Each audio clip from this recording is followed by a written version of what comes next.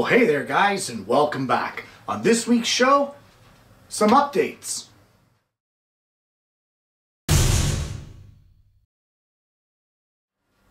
Well, how many times have you watched a YouTube show and then thought, yeah, okay, buddy, well, it's two years have gone by, or a year, or six months, but really, how do you still like the project, or how do you still like the tool? And that's what we're going to touch on today, as I've compiled a list of older shows that some of you may have questions about. You may be wondering, hey, how did that work out for Kenny? And that's what we're going to do today. Now, I'm not sure if there's going to be a one part or a two part. It is an extensive list, so let's just get right to it.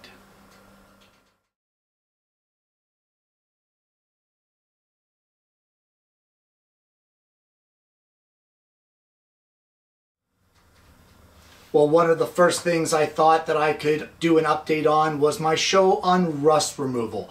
And quite some time ago, I did a show demonstrating how to remove rust, surface rust, from your cast iron tabletops. And although my methods have not changed on how to do that, what has changed is what I've used to coat it.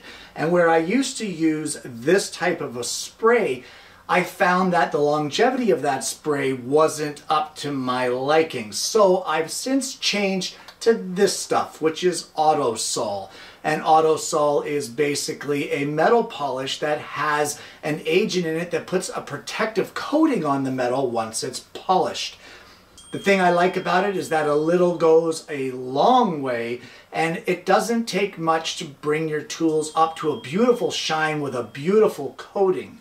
So while the other spray is quite acceptable if you don't want to use the Autosol, I have found that I've only used the coating spray now for things like lubrication on the scroll saw and on the jointer for in between passes on a job where there's lots of jointing to do and you just find that you get too much friction. I find that the spray does a great job in lubricating that surface and allowing the material to slide. So it still has its place in the shop.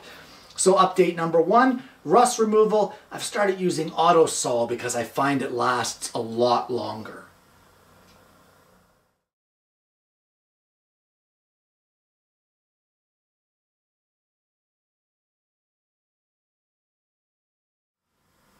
Well, it seems like only a short time ago that I showcased the Veritas setup blocks on my show. And these things to this day are still incredible. And it's actually amazing how much I use them in the shop. You wouldn't think that you would use these little blocks of metal to that extent, but I honestly think I use them for almost every single project in one shape or form or another. However, the update to this is that they've added a new addition to these, and let's just head over to the bench and I'll talk to you about them. So the update to the show is not about these sets. What it is, is about Veritas's newest edition of Setup Block, which is a perfect companion to the original sets. And this is basically five setup blocks in one. And you can buy them individually or you can buy them in sets of three. And quite honestly, I think I think they're fairly reasonable for what you get. And what you have is on this surface, you have one eighth of an inch thick. Then this surface is one quarter. Here is half an inch. This surface is three quarter. And then the width of the entire thing is one inch. And it's a nice little saddle square. You can see how small that is. And you can keep one in your shop apron. You can keep one, you know, with your setup blocks. I got three. I keep one on the bench and I keep one in each of the sets of the blocks. But honestly, it's just a great little addition. And uh, I thought I would just bring it to your guys' attention just in case it was something that was, you know, up your alley.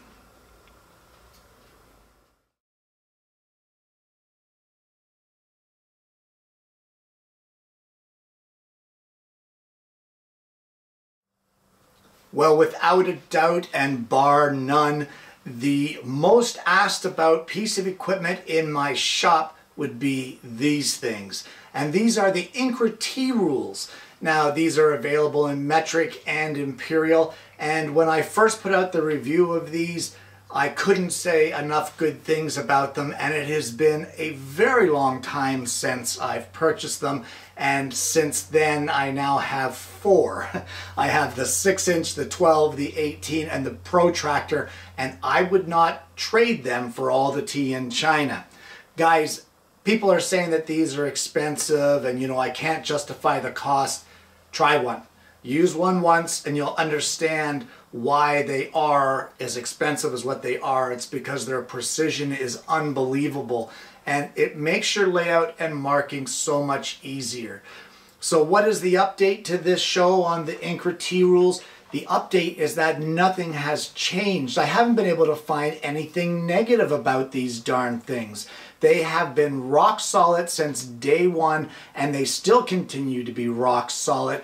And if you are interested in getting yourself one, by all means do because you will not regret that purchase. So just the update that nothing has changed there. They're still awesome. And I just have so many people asking that I thought I would put it on here so that we can get a link below and have you guys be able to look and get your own. So there you go. The Incra T Rule still fantastic in the shop and I wouldn't trade it.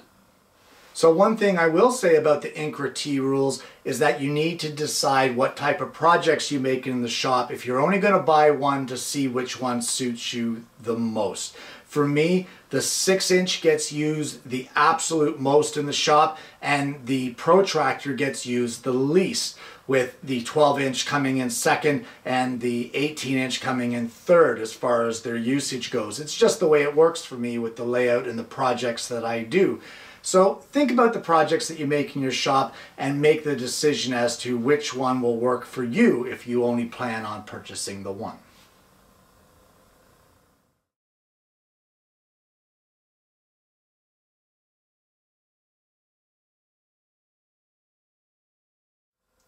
Well, the next show that I thought could use an update was my show on quarter sheet sandpaper jig. I don't know if you guys remember this one. It was quite some time ago, and it was a simple little jig that used an old hacksaw blade and a piece of plywood to allow you to tear off uh, pieces of sandpaper the exact size you need for a quarter sheet sander. So, what kind of an update could I have here? The only update I would say is that I will be adding another set of lines to this and just make my labels a little more clear. Um, I have a different block sander that takes one sixth of a sheet. So I will add another line or another two lines to this in order to be able to tear those off. But other than that, this jig has proven itself over time as far as ease of use. I used to fold it and crease it and tear it and use the edge of my table saw to tear it off. What a pain in the butt. But honestly, this thing has been fantastic since day one. I'm glad I thought of making it and I'm also glad I brought it on the show.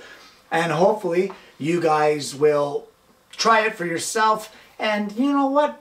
Simple, yes. Effective, damn straight.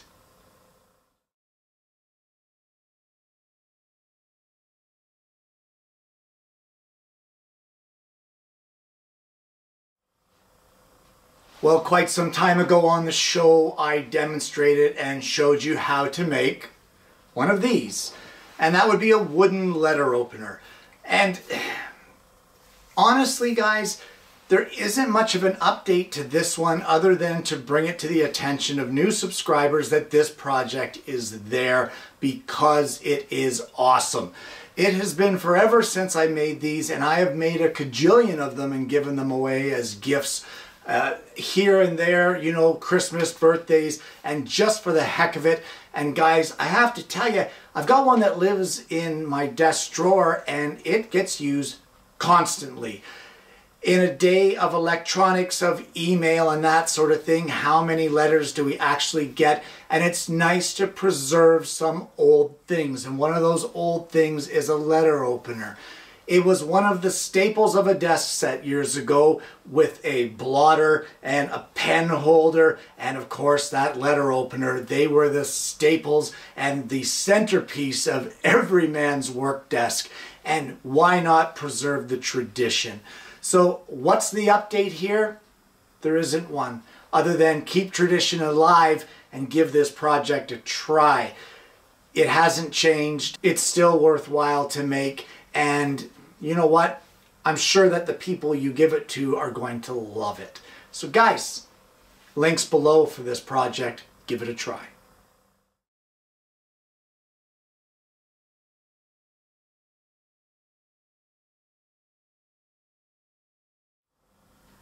Well, one of my very first multi-part build series on the program was my folding chair slash stool.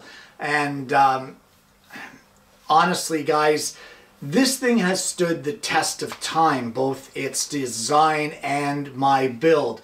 It's been in our kitchen for years. My wife absolutely loves it and uses it constantly. So I don't have anything to add or anything to change about the build. I wouldn't change a thing. Um, the finish that I placed on it, the Varathane, is extremely durable, and although the chair has seen its dings and bumps over the years from regular use, its stability and its functionality is still 110%. So, would I build it again if uh, I knew or know now what I knew then and know then what I know now and that sort of thing? 100%. I would definitely build this. And again, if you want to add this to your arsenal of projects, the link is below, guys. Nothing has changed with this one. It's uh, still a spectacular project.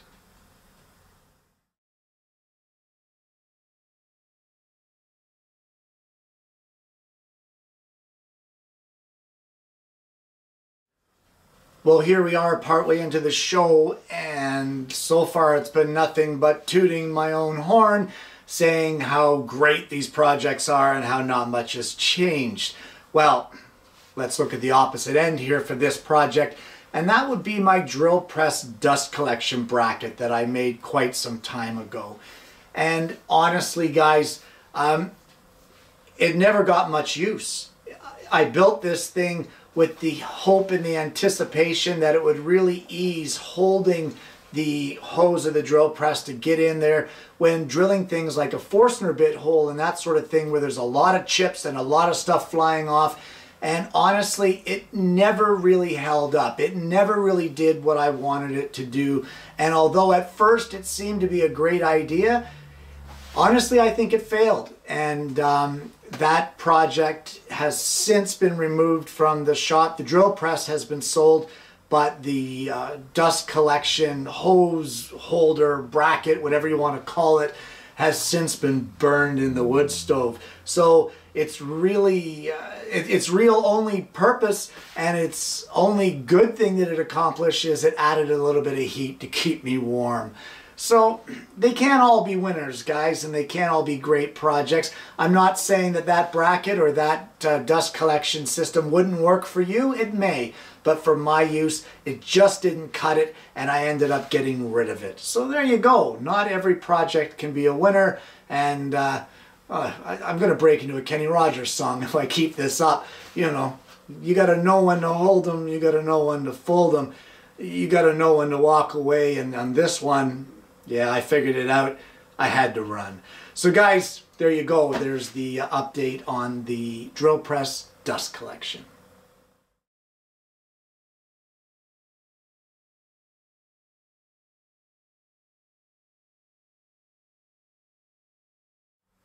Well, the next show on the list that I wanted to touch on was my review of the HEPA filter for my Ridgid shop vac. And well, you know what? Let's let's head to the shop vac and we'll have a look at it and see how that filter has stood over time of plenty of use. Well, this is still the original filter that I used in that video and it has been cleaned and banged out multiple times and it still is rock solid. So we'll just see what we've got here. We have a little bit of dust collection or dust collecting here in the bottom fins of this. I don't know if you can see that. There we go. Some of it is coming out there. But for the most part, the filter is still very much intact. It doesn't seem to hold a lot of dust in between the fins unless you leave it for an extremely uh, extreme amount of time before cleaning it. Now we can see here that there is some dust in there. Well, of course there is. It gets used. But it's just a matter of giving it a little knockout to clean it or a vacuum or blowing it out with an air cleaner. Use a dust mask if you're going to do that, guys. And, you know, for me, another method is hosing it out. And it doesn't take much to get this thing back to being clean and functioning again. I just find that the paper filters, the dust really likes to stick to those ribs. This one here is a different kind of material with a different kind of coating and it really allows the dust to be released from them very easily and very quickly. So would I recommend this filter now after using it for the years that I have? 100%, I definitely would. And the fact that I've had this same filter for years and not had to replace it, place it, it's actually saved me money because although this was a little more expensive, I would have spent more in replacement filters by now. So HEPA filter recommendation, 100%. If, uh, if you're interested in that, give it a try. I think you'll love it.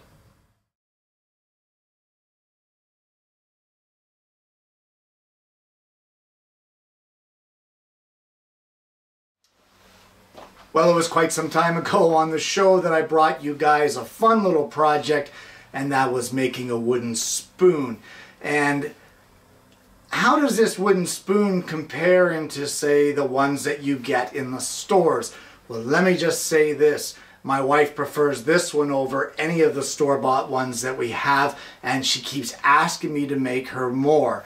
Uh, it's sturdy. It has really stood the test of time. It has worn and weathered beautifully, and even after years of constant use, it still is better than the ones that the stores provide you with. So I guess what I'm trying to say here is sometimes making your own things is better. For the amount of cost that it took for the piece of wood, it's still cheaper than what they charge at the stores and we got a better product project and had a fun afternoon or a couple hours making it. So the update here again just bringing it to your attention that this project is is still valid it's still useful and it's still one that you may want to give a try. So there you go. The wooden spoon. Give it a whirl or a spin or a stir. Try it.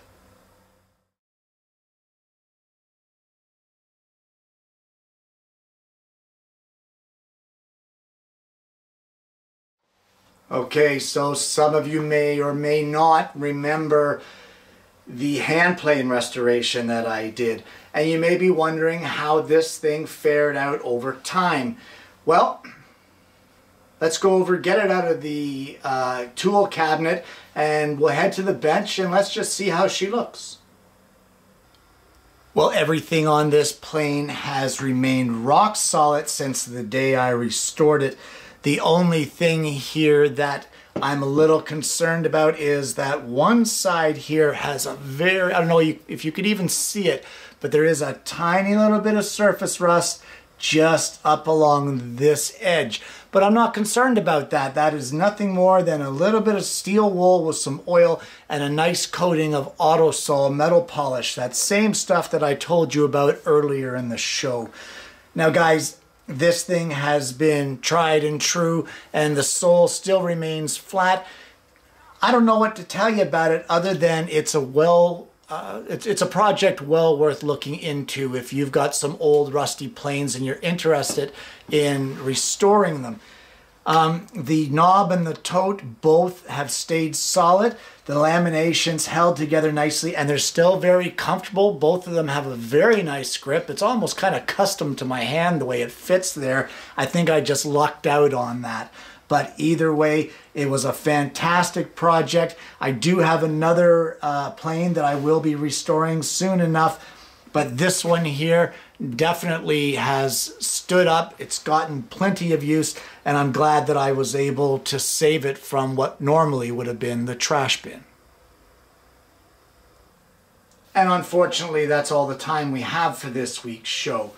So guys, while some of the updates may not seem important or super fantastic or that sort of thing, what it may end up doing is guiding people who are new to the program to other episodes of the show that may expand their uh, experience levels as far as woodworking goes. And that is what this program is all about helping those who are learning and new, as well as those who are veterans at it, to try something different.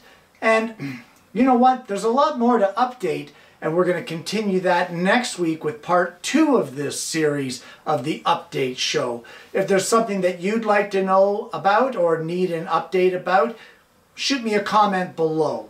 Guys, thanks for tuning in. Don't forget to like and subscribe. And I hope you're going to join me next week when I bring you yet another Alternative Tuesday.